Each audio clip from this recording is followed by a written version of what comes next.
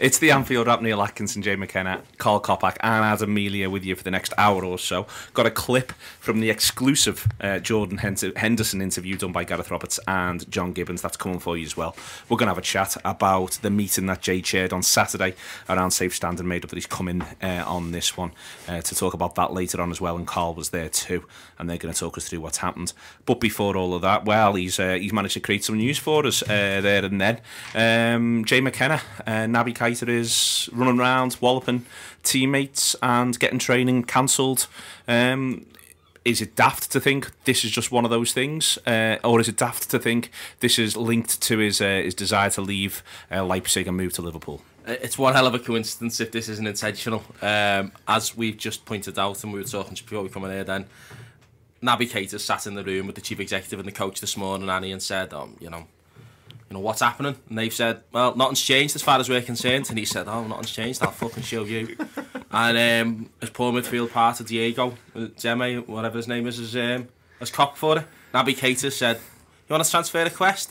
One better, lads. It, it's just literally caused chaos. It does feel like that's the case, Karl. It's it is it is very hard not to think that this is that that this is a player who's at the very least very wound up by things, uh, who's gone into a training session and and cause chaos. It might be that there's something even a little bit more from a Leipzig point of view sinister than that, which is that he's thought, you know what, I'll uh, I'll make a bit of a point here that a one out. The best thing you could do maybe is see if you can get one more big money offer from Liverpool, accept it, and we'll move on with our lives. I think this is the way all transfers should now be conducted in the future.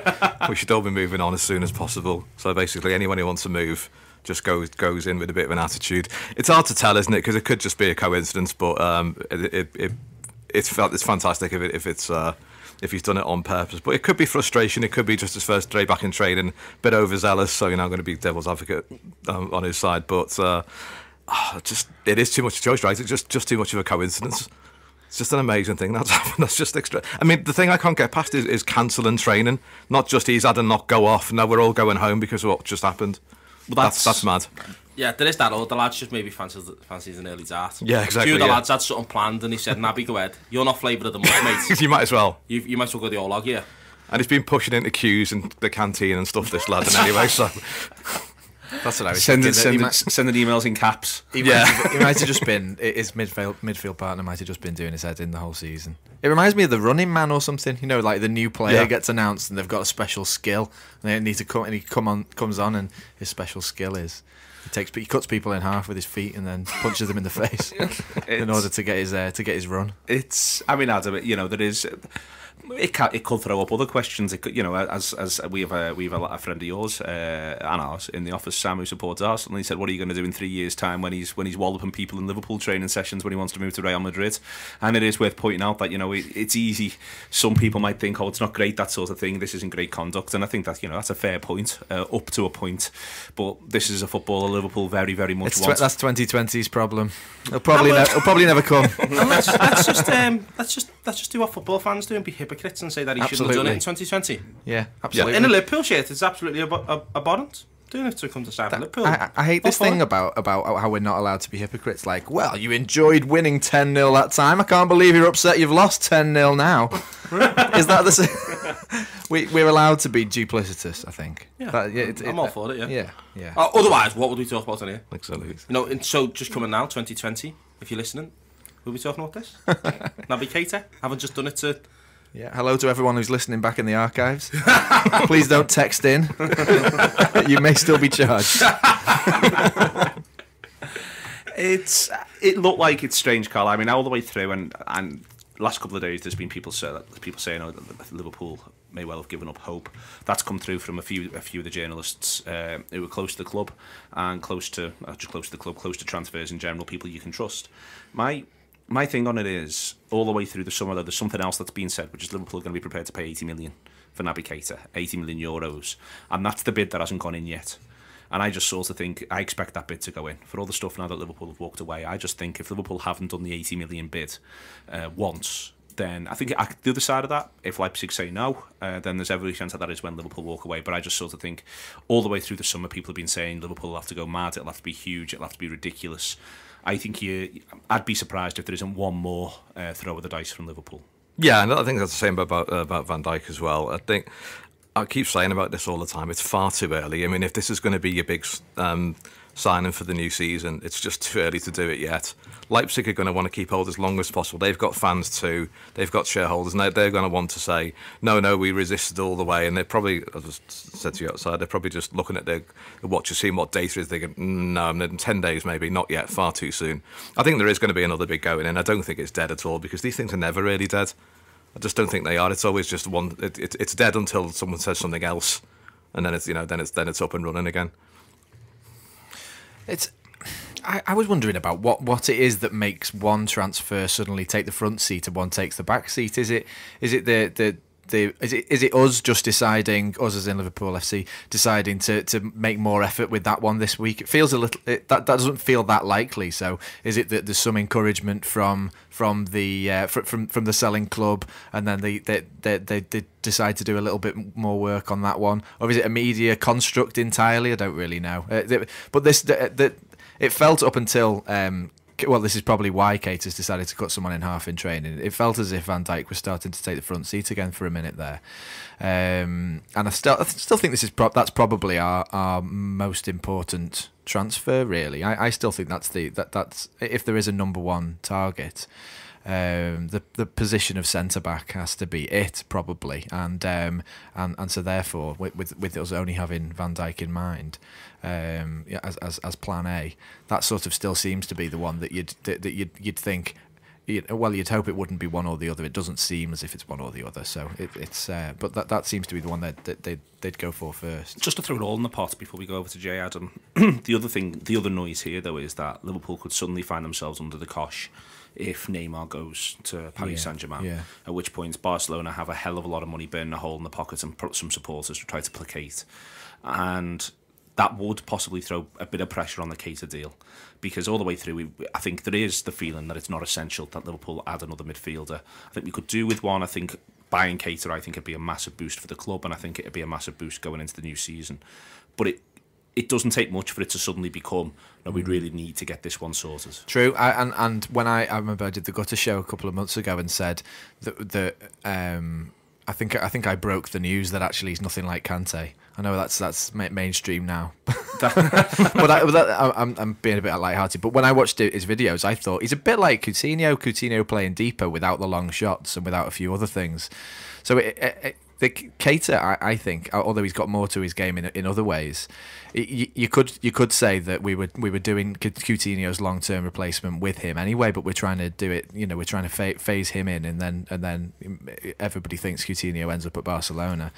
Um, but yeah, you're right. It's it certainly if um, if Coutinho's head's turned and he. Um, starts headbutting the academy players tomorrow to to, uh, to force a move, then yeah, that that uh, Keita and centre mid does become uh, just as much a priority as, as centre half. I, I I think Liverpool will get lots of attention around Coutinho. There's, I, I, I think I think Guillem Balague tweeted as well saying that now apparently Neymar's talking about that if he stays, he wants Barcelona to sign Coutinho for him, as if like you know this is like some kind of like he's going to come and live in his garden with him or something. Yeah, nice. this is this part of the contract. No, no bumping pay, mate. Got your own footballer.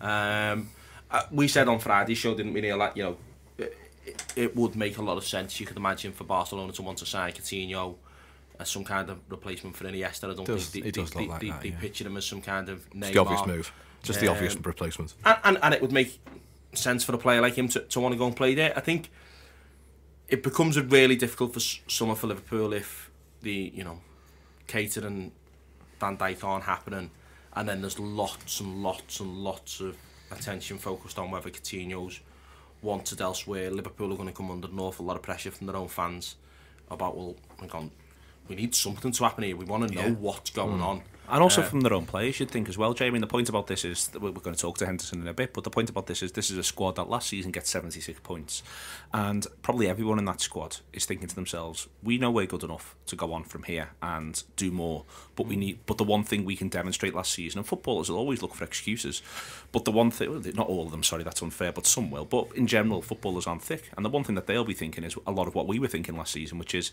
if we'd had another three or four very good players, then we don't know where the limit would be, and that might be what they'd be thinking as well, Jay. So you know, those players would be thinking, well, certainly if you're going to let one, if, if one ends up going or there's pressure for one to go, they need to see that there's been genuine improvements. Yeah, yeah. I, I, and we, I, you can't stand still. So you need to add to your team anyway, to to even just stay as the fourth best team. You know, signing Van Dijk doesn't necessarily mean we're going to finish third, second, or first. Hmm. You know, it, it increases your chances of that. But other clubs are, are improving their their playing staff. You need to sign players just to stand still. And Van Dijk might be that kind of player. Hmm. And I think even Keita would be because it's an upgrade on a current player. He might not win you lots more points, but he'll make sure you don't lose points. Hmm. The the losing Coutinho, you only see it would cost us points. I, I, and I think this is where the interesting Coutinho is really important. That it's, I'm not going to get into a, you can sell him if you sign the other two. I think fans are looking at this, and I think the players and I think the manager is looking at this as a because the Coutinho stuff seems to have come from nowhere. Like until I'll say nowhere, it's it's come relatively recently. Suddenly, people expected it at some point, but probably not now. Everyone was planning in their head, improve this squad, but keep it together.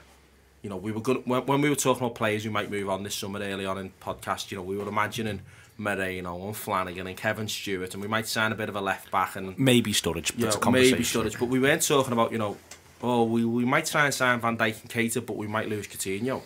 No. That, I- would be a backward step. I was for us. waiting for Coutinho's new contract to start. I was sort of because it didn't start till July the first. I was mm. thinking there might be something before then, but as soon as that July the first came, I thought, well, I think we're all right here. No release clause. Mm. Well, it's this is uh, th- this is how it has, and I think Adam, you can probably trace it back to the name. I think I think that's the thing here is that that it's that, and this is a lesson in general. I think, and it's something that we've talked about. I talk about on shows quite a lot of the time. You can have football laughs at your plans. A lot hmm. of the times you can have plans, and you know we used to Gerard Houllier used to talk about a five-year plan, and I think that different Liverpool managers have tried to plan, and I think Jurgen Klopp is in different ways to some of those managers very much a planner. But hmm. you can have your plans, and football can find a way to laugh its head off very very quickly. Every season's completely different, isn't it? If you look at the last few seasons, they've all been a complete, completely different and completely different to how you thought they were going to be when they started. To, um, so yeah, you can you can plan and you can plan for more than one season at a time. But really, you you can't you can't be sitting in one summer thinking this is what we're going to do in eighteen, nineteen. Um, and it is it, it's just it's it's a sliding doors moment. It's a key it's a key moment right now for for, for the football club. If we get Keita, Van Dijk, and keep Coutinho, everybody's happy. Um, and it's it's a sign of progress, which is what everybody always wants. And it gets more and more difficult the better you get. Uh, it's a, it's another step in the right direction. If you um, keep Coutinho and get one of Van Dijk and Keita, that's good too. I think I think that's okay. I, I, I think most people would be would be happy with that. Um, lose Coutinho and get those two. I think mm, some you'd probably get a split. Uh, but I think most people would probably think that wasn't a good thing. And lose Coutinho, only get one of them or none of them, that's bad. Yeah, something Adam says there, uh, Karl. I'm, I'm writing it down. I don't know why. Really, I'm going to say it to you straight away. He said, uh, Put it in your diary. Put it in my diary. He said it's a sign of progress, uh, which gets harder and harder as you get better, which is is the problem in many in many ways. Like last season, Liverpool's sign of progress was they went from it's it was relatively straightforward to improve the squad that had come eighth through to the squad that you then end up getting 76 points and coming fourth with a squad which at times looked like it was playing the best football in the country but finishes fourth and we go from there. It's now whilst it's quite clear in many ways sort of the theory of how you improve it's actually a lot harder to, to, to, to now put into practice. And there's there's a couple of reasons why. Again, you can't plan for transfer fees suddenly going a bit weird and going a bit mad on the one hand, and no one being quite sure what certain players are worth. For instance, we'll come on to talk about them, but it now looks mad that we've got Salah for 35 million. Yeah. It now looks like we've got an absolute bargain at this stage. Um, but it is that is the thing, isn't it? It gets harder the more, the the better you actually get. The job of that progress does actually become harder, more taxing, and you do begin to need possibly lads to wallop lads in training. Yeah, ideally, um, because as you're right, you say the the better you get at these things, your upgrades are always going to be smaller increments than, you know, we're not going from, I don't know, Smicer to Coutinho, where there's a world of difference between those type of players. Um, if you're looking to upgrade on people like, well, Mane, for example, I know Salah's bought in as a sort of, you know, that's a similar sort of player, then they're going to be much more difficult to get because they're that, that level above Mane, which is, I'm not saying he is, but, you know, but he's that sort of level. Hmm. Whereas if you're going from somewhere eh, like mid-table where you think, you know, you've got the equivalent of I don't know why I'm picking on him, Steve Harkness, for example, and then suddenly you've got Virgil van Dijk. That's a massive thing, and it's actually somewhat easy to get. But it's going the extra five percent, which is going to be harder than getting twenty percent sometimes. On that, and you, you've all mentioned Van Dijk. Because I think all, all these things, in, in, when you talk about them, they become increasingly linked. Because with Van Dijk, I think you know he's now he's now not gone on Southampton's tour, and I think we've got to make this nice for Southampton. But there is a wider thing here, and I, th- I do wonder whether or not internally in Liverpool, Karl, they're having a chat and they're sort of saying, we've got to find ways not to take the piss. And my point about this is that this season there's a serious chance if we sign Van Dijk, we'd be playing. For, some, there'll be a game where we've got five former Southampton players in one eleven. And there's a point there, isn't there, that if you're Southampton, you really do just go, just stop taking the piss out of us, Yeah. lads. Eh, Liverpool have got to find maybe find. I'd be I'd be furious if I was them. You know, if you're Liverpool, you've whilst the money obviously helps, and that's the point. Yeah. And Southampton accept their place in the pecking order. There's a side accepting their place in the pecking order, and you being absolutely repeatedly ruthless with them Yeah. which I think is you know is a maybe just maybe we need to spread that out a little bit more rather than get ourselves in the situation where, for instance, Southampton were looking for any excuse to report us to the Premier League and go through all of that and Yeah. make this hard for us. Yeah, I, think- I think that apparently there are other clubs we can buy players from. I think maybe we should investigate that from time to time. Um, yeah, I, I thought that when I was asked a year ago about Van Dijk, and I thought, can we, can we just leave them alone for a bit? You know, let him go somewhere else first, and then buy him afterwards, maybe if, if that if that doesn't work out. But um, yeah, I, I'm all right with it. I, but, Well, but- this, this is my- my- nature of I- football, I- isn't it? My eventual aim is is for us to be Bayern Munich and just buy just if anybody Go and if anybody looks like being good, then then we buy all their players. And if we are if we're doing it one team at a time, then yeah, that's fine. Like everybody was making jokes. The, the, the Evertonians were saying, why don't you just buy Southampton? Maybe we should just buy Southampton. It resolved lots destroy destroy the ferry terminal while we're at it as well. So all the all the cruise terminal, all the cruise ships have to come here. Yeah, and we, we, we could Balls solve, to Southampton. we could solve a lot of like Liverpool's ills by like just signing Southampton. Yeah. Maybe what we could do is we could just go and sign their scouting department. That But I- might be Maybe. an easy thing. That, that's the process, though, isn't it? That you they come, they play there for a while, everyone gets to see them under Premier League conditions, then move. But my thing's more, I'm, I haven't got a problem, Adam, with doing with being Bayern Munich, with wanting to be Bayern Munich and go through all that. But you've got to, my, I just sort of wonder if, if it's just always the one side, if you know what I mean. But it, that, but that's I know. weird I just be, I, I know it, you're right because you do have to spread it around a bit. but it's hard because the other side of Let's that, sign Everton's best player next year. Well, I'd love And to sign Arsenal's. Everton's best Everton's player. and Arsenal's is what I've got in my mind. Everton's and Arsenal's would be better, uh, but it's more one of the. It's the strange thing about this league, though, Adam, which is what, what I was going to come on to say, which is that none of us are sitting here going, "Well, let's have West Brom's best player," because what'd be the point? Uh, and and that's why Southampton have sort of managed to create themselves into this position, and maybe they're happy, and maybe they think, "Listen, we always get the money in the bank," but they've got themselves in this position because they play good stuff. They want to play from foot football Great academy too. good academy, so they end up putting themselves in this position. But there is a thing where, you know, maybe just maybe Liverpool come knocking, and they, be, they are. It, it becomes harder for them to look at their own supporters and say, Yeah. "This is what we're doing." Sound, that's their problem. I, I, I am. I, I'm in. I'm in team Adam here. Fuck them. It's not. They're not that concerned. I think.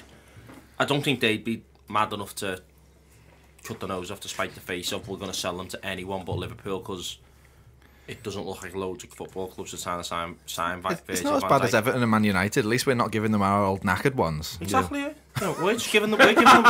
we're giving them lots of money.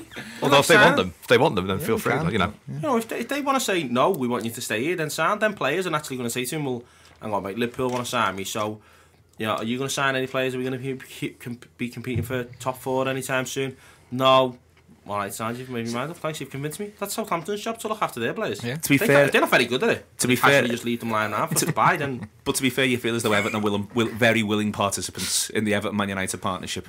Um, Strangest. I just like the idea of relationship in Jay's football. idea of players like le- left leave, left on their own, unguarded. Oh, well, they are. When, He's- when- when he's- suddenly a he's tra- scout walks He's by. training on his own. innit? I can just imagine, like you know, us just watching Virgil Van Dijk just running, you know, running up and down the sides of their training ground on his own next to the fence, and Klopp just through the fence. Psst, we don't want to sign you. The, the sniper in the high tower looking the wrong way at the wrong moment. Klopp's flying a drone just, just over his head, whispering in his ear. Well, it beats better. It's better than meeting him in Blackpool, innit? So you know. Yeah.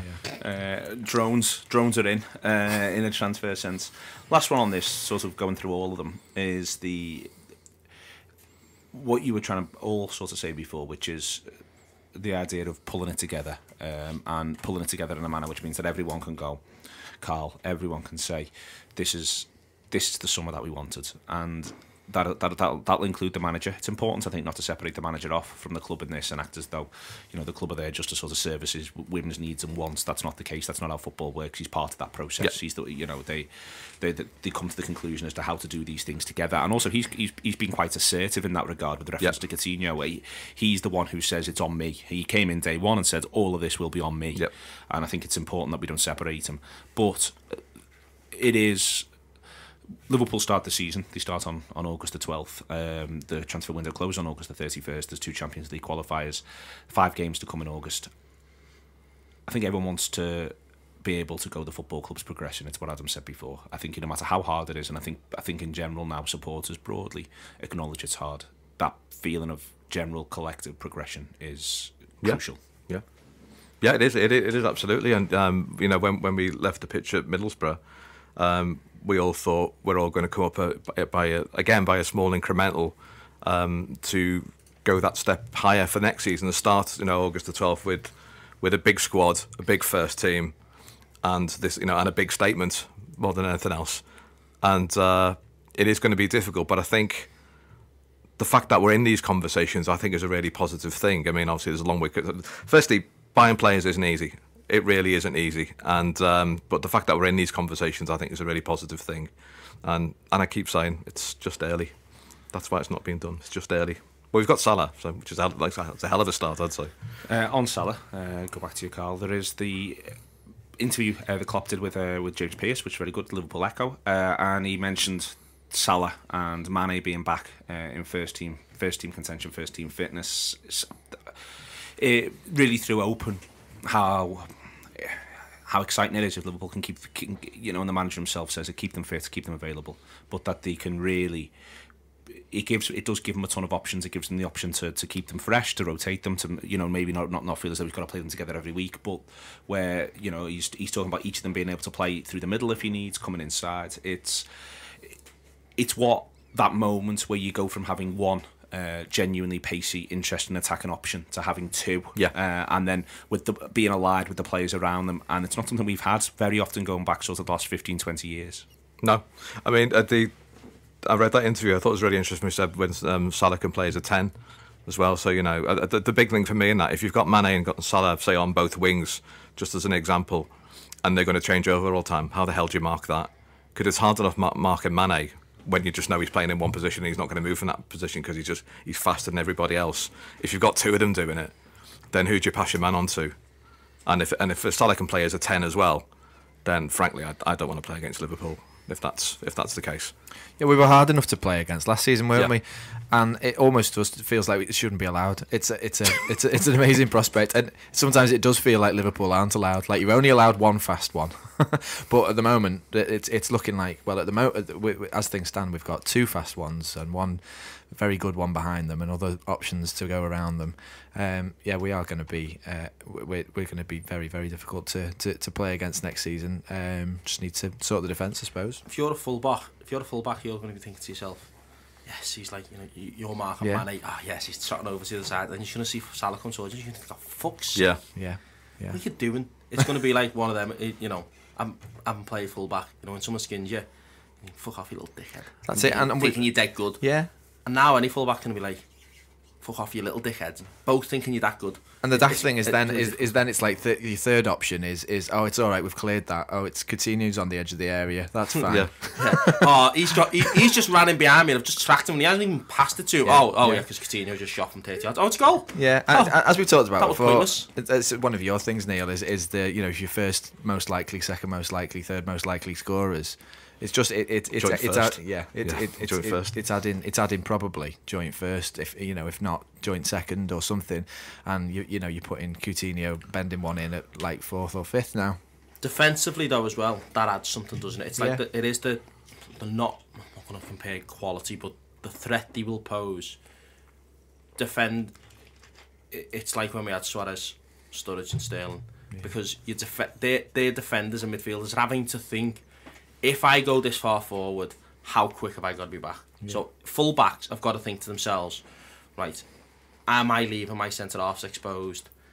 If I just literally move into Liverpool's half now to offer a pass, suddenly that's a big thing because they'll be thinking Coutinho can get the ball, Henderson get the ball, and they can get in behind, they can find Salah or Mane, they've got to worry about it going up to Firmino, Origi, they're just going to be thinking to themselves, hmm, this is really difficult. It's going to give them Yeah. an awful lot to think about, which will impact on how they play against us as well, not just how we play. Just just on that, and I'll go to you, Adam, on this because um, you and I have been watching Liverpool not win leagues for years, and uh, we've been doing it together, and we've done It's it not an very well so exclusive far. club, you know. Uh, I know, I know, but I- I've, I've experienced this with, with, with Adam. But what, what one of the things that occurred to me when I was sort of planning this show was what happened, I'd argue, in 2008 2009 when Liverpool uh, got themselves on the march towards the end of the season, and what happened in 13 14 when Liverpool got themselves on the march was the players who were the threats, Torres, Gerrard, Suarez, Sturridge, was suddenly allied by a third player.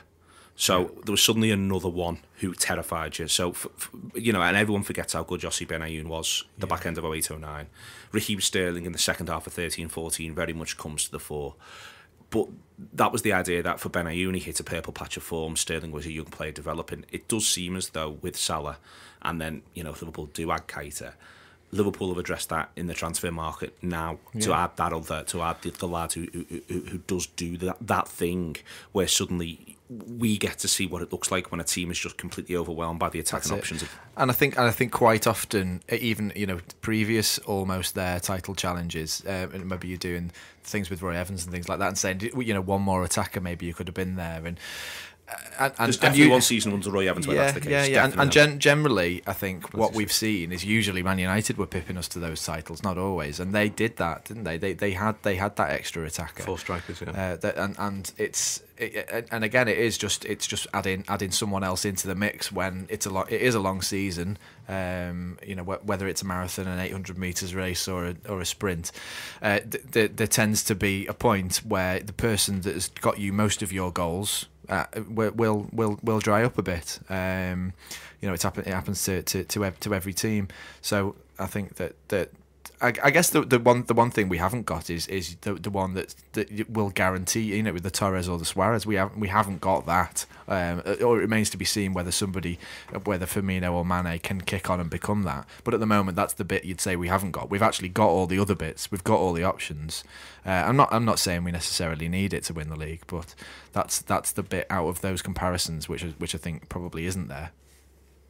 Okay. Um, on that, it's not our money, uh, Jay, but that 35 million for Salah, uh, given the way in which the whole summer's sort of gone a bit mad, um, it does look does look unbelievable business at this stage. It does look like you know again we're back to part of why Liverpool why there might be frustration if other pl- certain other players aren't added is not least because you know we seem to have got 35 million for Salah, Robertson in for 8 million quid. You know so far on the, it's a strange thing, isn't it? Being fair to the, the people who are looking after Liverpool's transfers, well, you know what, they can look at those two and they can well could well think, you know, we've done really well there for the club. But the other hand then becomes, well, you, but we're, we're paying that money to free up the money to go and get the other lads. That said, it's still, it, you know, good business is good business.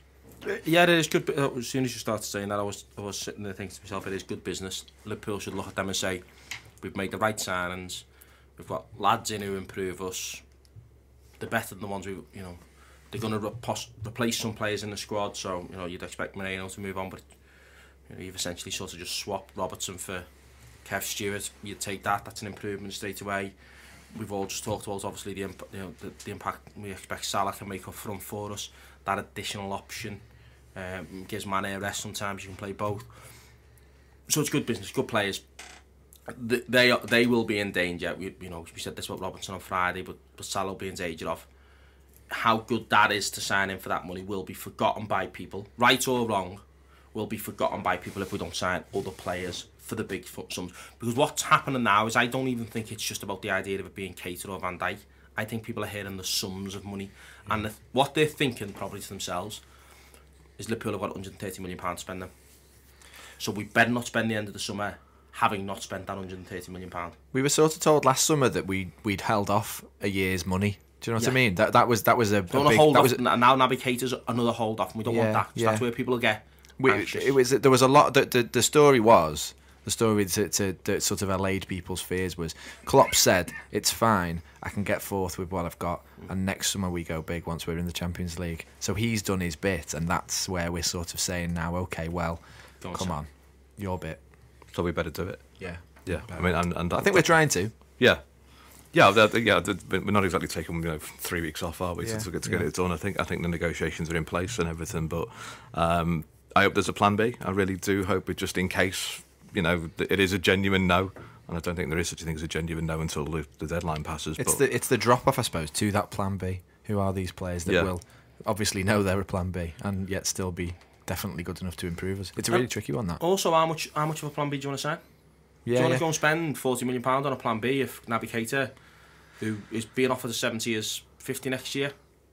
That's the question they'll be asking themselves. And there's more difficult questions like you know we, we go for the plan B and they know we've got 70 million there because we just tried to so spend you spend on them fifty Keita. million on a Yeah, player. And they say, right, well, he costs 70 million. Then. Yeah, yeah. Or he is. or is he actually even going to settle in? Yeah. Is he actually? He's a plan. He'd be a plan B for a reason because he's not as good. Mm. You're not sure he'll come in and settle down. Yeah. You're not sure he'll come in and, and, and make much of a difference. So, and, and this is you know this this brings in a wider conversation doesn't it about you know Liverpool LFC Twitter on transfers. You know it was a nuts world where people just have to see it almost so black and white. Mm. you know FSG aren't spending money. Well they are trying to spend money. Well they're not doing enough. Well there's lots of reasons probably for that. Mm. you don't you're not an FSG, FSG stooge if you don't agree with the idea that we're not spending money. And mm. nor are you a lunatic for thinking Liverpool should spend money that they've got. Just try and actually understand maybe why they're not. You know, and I, and I, I, I almost think Liverpool have got themselves so deep in with two players, probably got themselves. You'd imagine, you know, hopefully we won't get us a transfer ban for this, but you'd imagine Liverpool have probably agreed personal terms with both those players. Their Yeah. agents will know 100%. what Liverpool are going to pay. It's just Yeah. about getting the clubs, uh, the respective clubs, to do it. Liverpool might be thinking to themselves, well, we've looked at the other options and it just doesn't stack up. And we're not going to talk about them. We don't know there's a plan B because mm. there isn't one. Because we've done all them stuff behind the, behind the scenes and the player wants too much than what we think he's worth or he's just not for sale and he's not interested. So these That's, are all, that's that's these- where you end up with difficult conversation between Liverpool and the fans, though, isn't it? That- that if you don't if you don't get them over But, the th- line. but this is something they've. This is an historical thing for Liverpool on Yeah, transfers because I think we've avoided having this difficult conversation in the past, and we keep getting the. We'll do it next summer. yeah, We'll we'll sign players. Oh, there was no one. There's no one you can. s- You know, you get these little. Th- there's no one you can sign in January. It's like, well, we've signed boss players in January before me. I know. You I hate can't- that one. And it, it, but but it becomes a. What I think it's in danger of doing is it become an excuse as opposed to maybe it could. It could actually be the reason, but they've almost used it as an excuse one too many times, maybe. So, uh, I, I think this is where Liverpool will find themselves, maybe, with 130 million, 130 million pounds to burn in their pocket, and they'll Mm. spend it. A la maybe, hopefully not, the way they did on Andy Carroll yeah, or Balotelli. or Balotelli. yeah, it's 2015. I We went and, we to went and spent it because we had because we felt we had to spend it for other reasons. We never got than actually Yeah, that, because we- it's all about Sanchez, isn't it? We didn't get because- Sanchez. because So. we didn't actually get the right players, and that's a really um, challenging thing position for them to find themselves. Uh, we've won the Asia Cup. Uh, get in.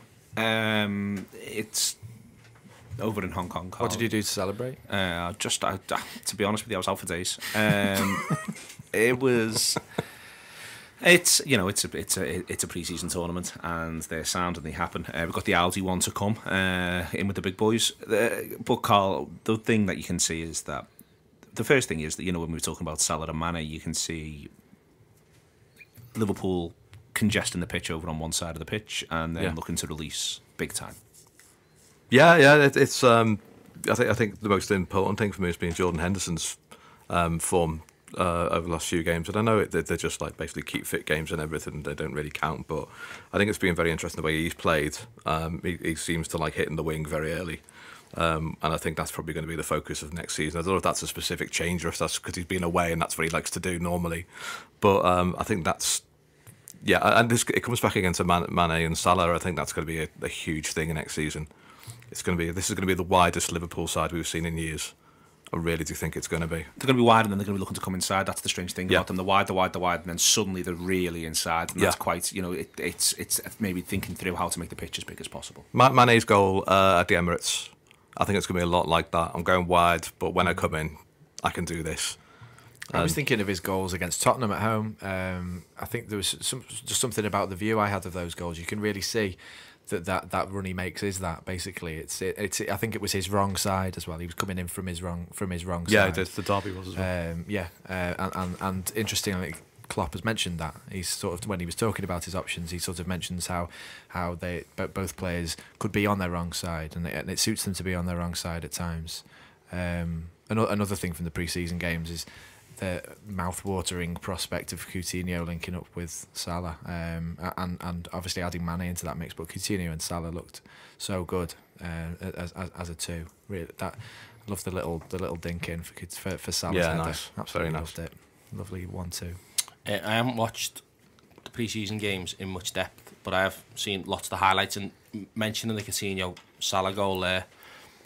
And it comes back to the idea, you know, maybe I'm talking Philippe Coutinho to, to, for the move to Barcelona here, but Xavi gave an interview a long time ago talking about what it was like playing at Barcelona, and he talked about as a midfielder, for them, you're faced with the question always of like, where am I going to play this? So you look one way, play it there, no, there, no, there, no. Because there's a man marking a player all the time. You get Messi's and the like, and then he finds a space to play the ball, and he goes, okay, now the space is there. I'll play it there. If you're Coutinho, faced with your absolute abundance of riches of players you can pop it off to, that's a frightening prospect for. Yeah for for for, for thingy. and we've seen that already in pre-season. Now I think some of these pre-season matches have been good because you know certainly the Asia Cup we were playing against Premier League quality. This isn't just playing some you know random team.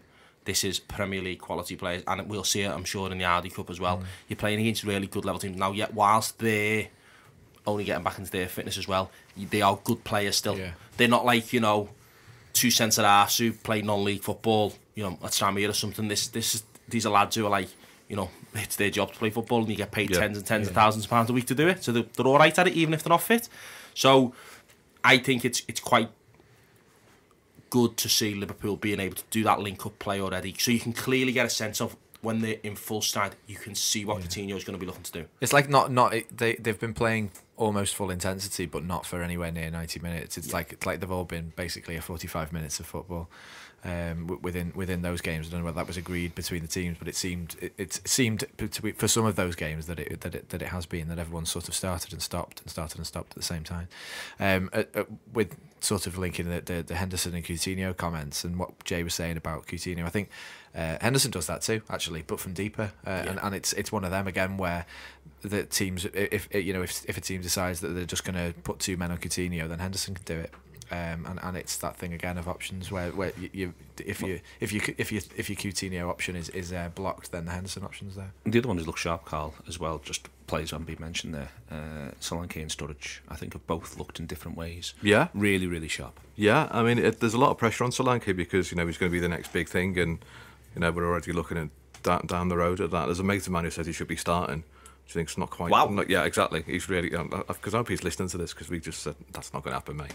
Um, but uh, and I'm I know the manager said that Sturridge is the best he's looked since he's been there, and he, and he does generally look good. And you know he had the miss against Wigan, but um, um, yeah, I, th- I think that looks really good. I mean, if they're going to be your third and fourth options, then more than happy with that.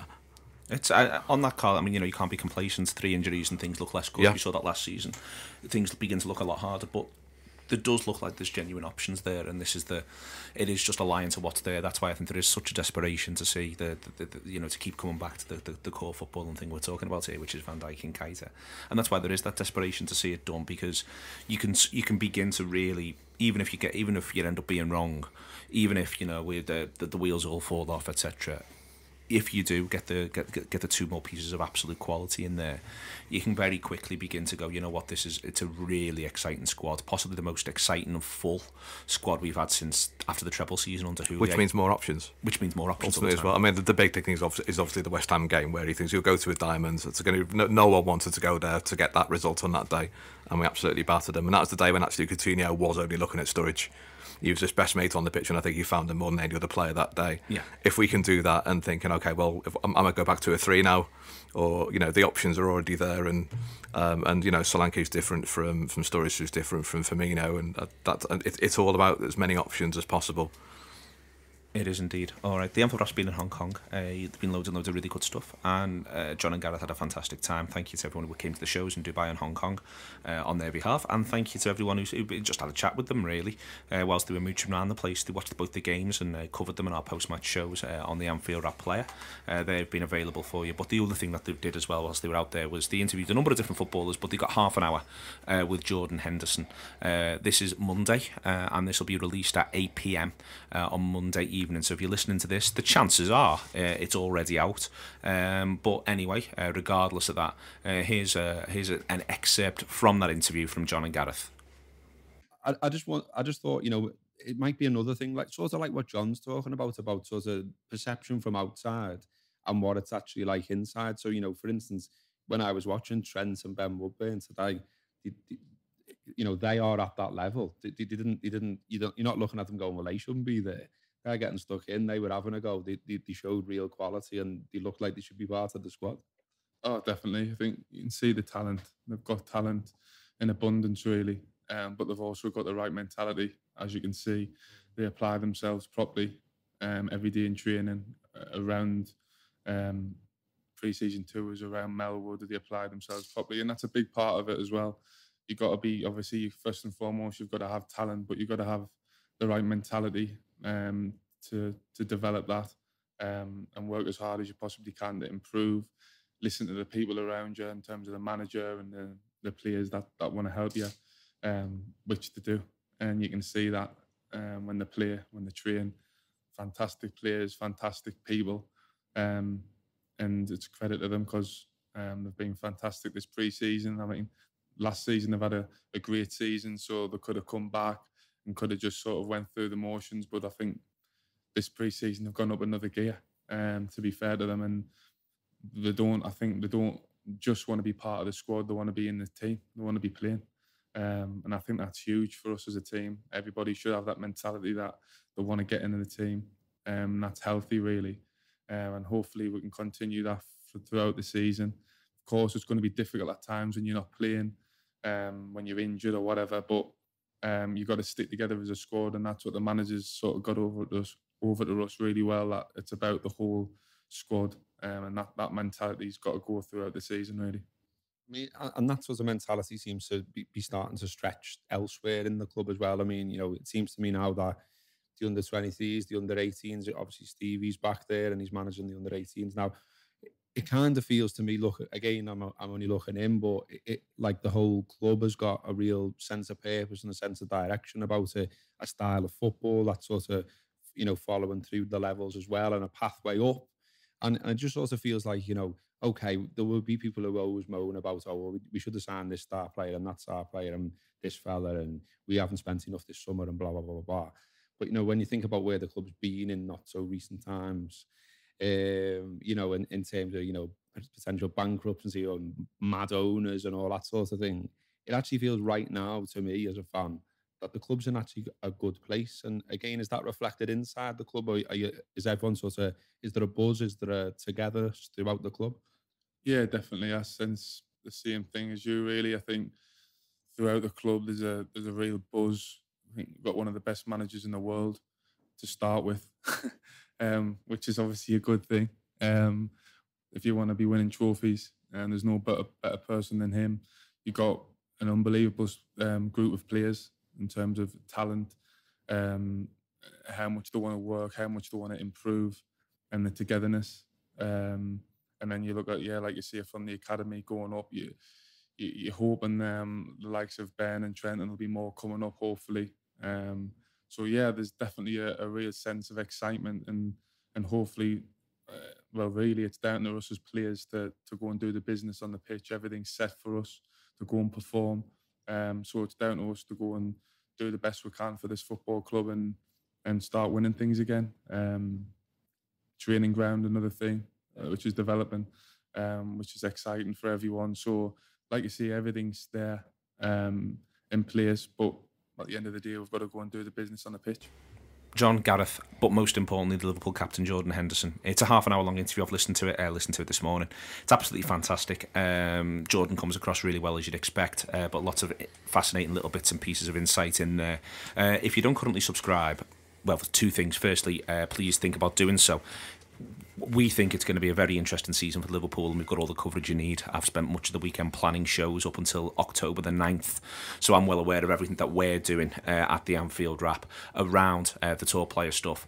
Just a quick note on that, because there's a lot of shows does not mean that anybody has to listen to them all. There is not a test at the end. It's a bit like Netflix. You listen to the ones that you like and you don't listen to the ones that you don't. Uh, no one makes you watch all of Netflix. Uh, but what we do try to do is put as wide a range of shows out as possible, uh, somewhere between 10 to 14 a week. And as I say, don't be overawed by that. My point is more that if there's only four or five you want to listen to, you'll find those four or five very much worth it.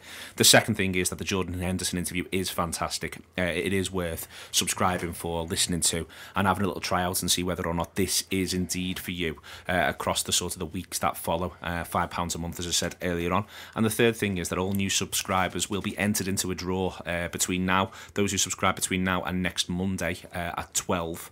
Uh, next Monday, that's the 31st at 31st of July at 12 noon. Uh, be entered into a draw. All new subscribers to win a signed shirt.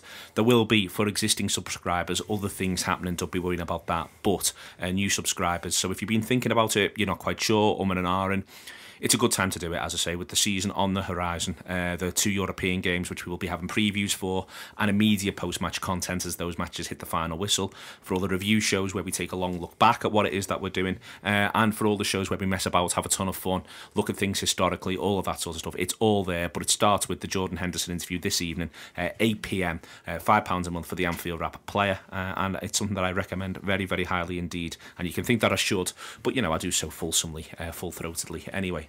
Um, moving forward, I do as well. Thank you, uh, Jordan, Karl. Obviously thought it was good too. Henderson put it on his Instagram, didn't he? Straight away. Must have thought it was good. Yeah, mu- to much annoyance, I think, to all the um, to all everyone on the, the Anfield Wrap. who, who, who- who might have wanted to manage the message a little bit more. Uh, Fuck Jordan, this is our interview, not yours. You just stick to talking and playing, mate. all fair points from McKenna. Uh, can't argue with the facts on that one. Uh, but no, lovely fella. Uh, one of a word said against him unless it's by me. Um, the- you had the SOS event uh, on Saturday, Jay. First and foremost, in fact, I'll go to Karl before I go to you. And the first thing that uh, I've, I've had, a look, had a look at some of the video, Karl. You were there for the duration. It was firstly conducted in the spirit that I think uh, Jay very much wanted it to be, but not just Jay. I think that everybody wanted it to be to be respectful, polite, decent, and it was all of those things. It was, yeah, it, it really was, and we, we kept saying all the way through the day. Everyone in the room kept saying it. It's such an emotive issue, to, you know, to, for this club more than any other when it comes to the debate of rail standing uh, and safe standing. And there are many people who are fervently, fervently against the idea, bearing in mind what happened in '89, and there are people who. Um, are desperate to see an increase in in in, atmosphere at the club, and uh, and see this as a way of getting you know more of an atmosphere on the Kop or whatever the, the safe standing area would be, and uh, and people butt heads on this subject all the time, and it's. But I think everyone can see everyone else's point of view, and that was a big focus of the of the actual afternoon itself, where we thought, okay, we don't agree with everyone in this room, but there was no shouting, there was no aggressive um, arg to and fro's across the aisle or anything like that. It was it was handled in a really respectful way. And there was a wide range of voices heard. Yeah, very. Um, as Jay will say, that you read out comments from um, from people who couldn't be there on the day, and um, they were very passionate statements. And uh, um, yeah, I think I think pretty much every single voice was covered there. You know, literally. And the, the most important thing for me was was there was a man who stood up at some point and said, "To be honest, I still don't know. I don't know what I think," and which is a perfectly valid um, standpoint to take. Yeah, it was um, it was significant uh, significant meeting um, for us really. It was a I, I think it's been a it's the culmination of of a lot of work and thought um, that we've we've put into this to get to a point where we felt comfortable uh, that enough people knew enough about it to be able to make a decision in a vote. Um, lots of people, I imagine, probably already had a an inkling or a firm view on what they wanted to say, uh, but we wanted to ensure that they had heard different views from people uh, to make that choice and, and decision. And you know, it, it the the meeting was a was a welcome opportunity to do that. Um, there were people who were in the room, uh, as as Karl says, who you know were saying they didn't know Damien Cavani, who will happily let me talk about his comments. He was a Pen three survivor, uh, was there with uh, the the son of um, the person he went to match with, who died. Um, and even within you know, Paul's dad, who, his mum doesn't want it. Paul is in favour of it. Damien's undecided wants to know a lot more about it. So you know, there within the tragic circumstances of two people is is the whole debate Yeah. and, and where people are at. That it, there is no easy answer for lots of people. There is division amongst families. There's I say division, but you know, divided opinion probably is better. Um, there are different views amongst supporters, but you know, I think people were able to hear that. I feel a lot more aware and informed of it now as, a, as you know, as an individual. I feel a lot more confident that I could actually represent the views of our members and supporters by extension in talking about this on, on a wider stage of what people think. Um, it it has, you know, there's big big themes that have come out of it which have been really useful around choice, safety on both sides, uh, management, you know, on both sides, what you'd expect. Uh, but but lots for us to, to look at moving forward, and I think hopefully now you know we can we can get to a point where we at least understand what some people think. You know, a fair number have voted already. We'd encourage lots of people to vote, but use that vote then. And, and I think I, I see this, whatever the outcome of this, as the start of any process and conversation around these matters. Uh, and maybe you know, I think one of the things that come up from it as well was um, a few people from the Hillsborough Justice Campaign and, and family members who said, you know, maybe this is the kind of forum in which Liverpool should look to take issues like this forward themselves to ensure that as many voices as possible are heard on, you know, such a uniquely sensitive subject. There's Adam. as part of the, the conversation on this, what one of the things that is important um, is the Liverpool supporters grabbing what is a national debate. Uh, and that's grabbing what I mean is isn't taking ownership but being part of that. And I think that that's something which a few supporters or support supporters who are maybe a little bit ignorant will be surprised as to how live a topic this is in a Liverpudlian context. That Liverpool support and not just from the idea of shutting it down, but instead wanting to be wanting Liverpool to be part of this. It's it's a matter of grasping the nettle really and not allowing the idea of that that it's it, it that you just can't talk about it in Liverpool circles, that it's blocked, that it's this, that, or mm. the other. I think it's something which, you know, having this debate, having it be covered publicly, there was a lot of good reportage of it after the fact, having it become, you know, just an acknowledgement point that it is being had is, is, mm. is good is, is good on a wider national level. So I mean, from a, from my point of view as a match going fan who knows a lot of different crowds, I think it's quietly been a mainstream conversation for longer than people might think. As you say, Neil, I'm and and I was just thinking when you were talking then, Jay. I think you're to be congratulated for um, because 10, 7, 5 years ago. I don't think we'd we we we imagined we'd be where we are now in terms of this conversation being had so publicly, um, and I think that, that there's been different things that have that have that have added to that sort of you know certainly the, the HIP uh, the, the the the the panel, um, the Hillsborough panel, the um, Celtic introducing it and what's been happening sort of Scotland leading the way, um, and and and it has led us to being where we, where we are now. Not to say you know that that anything's been decided or you know the conversation's over but certainly i think that that there is there is for, just talking personally i've always wanted liverpool to lead the way uh, with with this i've always thought that uh, rather than it being it all the other clubs sort of or a lot of other people want it to happen and it has to stop at our door because of Hillsborough. I always thought that because of Hillsborough we should be leading this conversation um, and certainly since the independent panel results showed once again it was not standing that caused it I think because I always thought that that should be the conversation that we that we were having that it, that was not the cause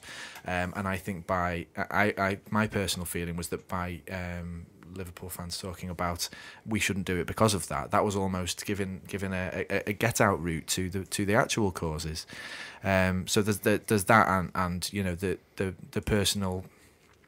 Yeah, and, and and and then we get to the point where where you, you've you've got all people's different opinions about it and having an open conversation, and that's where we are. And you know, I won't sort of go any uh, any further into in, into into my own my own feelings because they're they're my my own feelings. But certainly, I think yeah, it's a it's, it's a positive thing where we are now, and um and, I, I I've been on and, and, and voted and couldn't make it to the meeting, but yeah, as I say, well well done for where for, for, for how far you've got.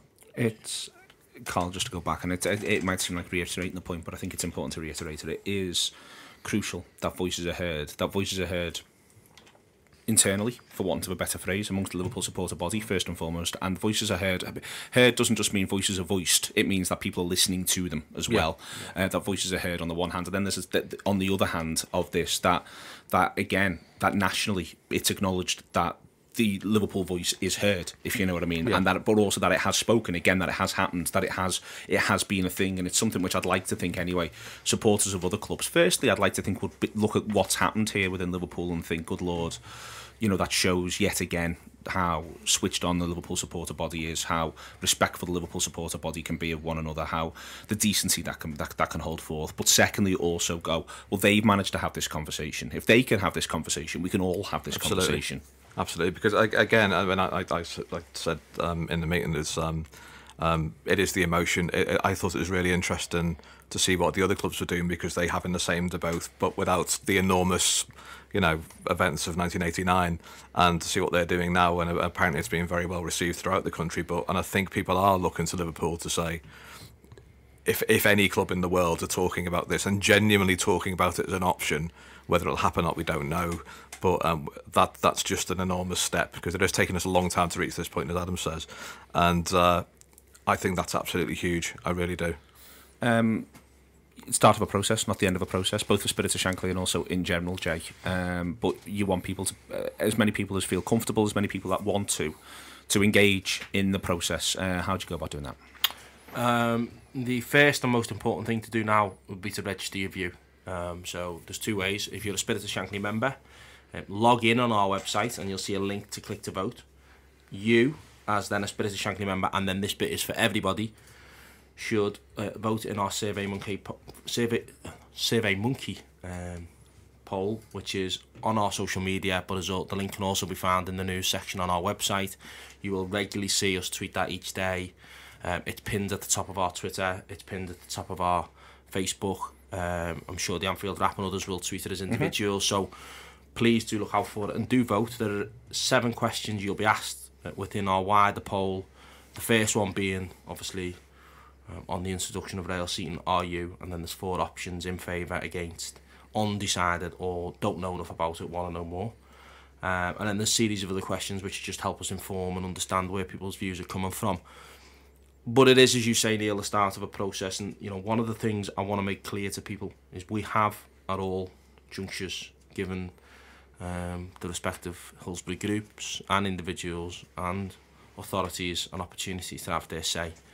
Um, and this isn't going to be, here's our vote, go and do what you want. We, you know, I have already began to think about how we present any results. Um, and if, for example, the vote was to come back in favour, you know, we will be very strong in telling anybody campaigning for this that this is our voice, not yours, for you to run off and say, well, Liverpool fans have said this is okay, so we'll do what we want. As Damien Cavana said on Saturday, you know, we have lived this as a city. Many, many individuals have experienced it personally and deeply and closely, uh, and they should be heard in this. And you know, and I think importantly for anybody who sees, you know, a national campaign um, for introduction of rail seating, they should at least listen and hear the views of those who disagree with them, um, and at least answer those questions as we've tried to do so in Saturday in our conversation. And you know, we, this isn't necessarily going to be campaign for Liverpool. This is an entire other conversation. But you know, we we do need to get Liverpool supporters' views. You know, I'm the last person who's going to say supporters shouldn't have a voice in it, but you know, there was a danger we were almost going to be referenced and never spoken to about it. Uh, just assumed that people yeah. you know would think one way or another, and I think that you know there's a real disservice to our Liverpool football supporters. You know, view this. So you know, hopefully this this is some way to get in engaging views. You know, we've had a decent number of people who've who've taken part so far, so far. But you know, it is important. I think that everybody who does have a view does vote, so that it can be as representative as possible. Indeed, uh, one of the things that always carries weight in any survey is the number of respondents. Uh, please do respond to the survey. Please do so honestly uh, and, um, and um, openly, uh, insofar as you can, about uh, just to sort of give the background as to the, where you're getting that opinion from. Uh, listen, thank you very much to Jay for taking the time today, to Karl, and to Adam, John, and Gareth as well, and Jordan Henderson. They're other voices that you've heard this week on the Anfield Wrap. I've been Neil Atkinson, and that this week is the Anfield Wrap.